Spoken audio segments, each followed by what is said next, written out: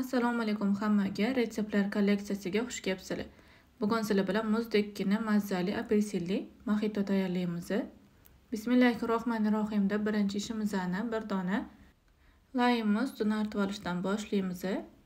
Ustini albatta artib ishlatinglar bo'lmasam tahir bo'lib ketadi moxito endi bir dona limonni ham ustini artib olamiz. Buni ham blender qiladigan idishimizga sovurib bir dona apelsinni ham ustini artib olamiz. Apelsin manda o'rtacha kattalikda shunga qarab ishlataverasizlar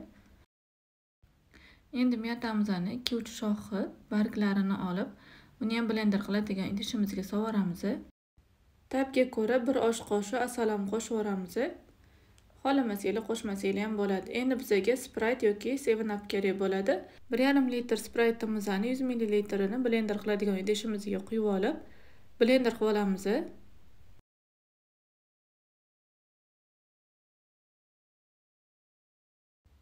blender qilib olgan massamizni sitadan o'tkazib yuboramiz.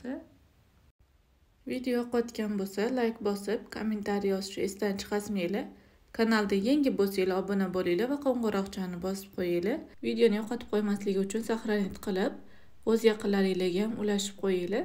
Maxitoyimiz yana ham ishtaha ochar bo'lish uchun apelsin limon miyatalarimizni sovolib ustidan blender qilib olgan massamizni ham quyib yuboramiz.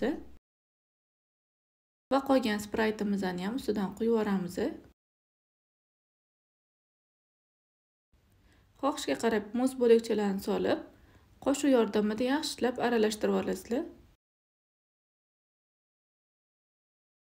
Mana yaxshilab aralashtirib olganimizdan keyin bemalol dasturxonga tortib iste'mol qilishingiz mumkin. Yoqimli ishtaha. Sizlarga ham tavsiya qilaman albatta tayyorlab ko'ringlar.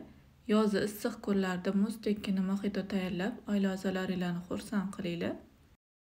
Retsept yoqqan bo'lsa layk bosib kommentariy yozishni esdan chiqarmanglar keyingi videoda ko'rishguncha xayr sog' omon bo'linglar.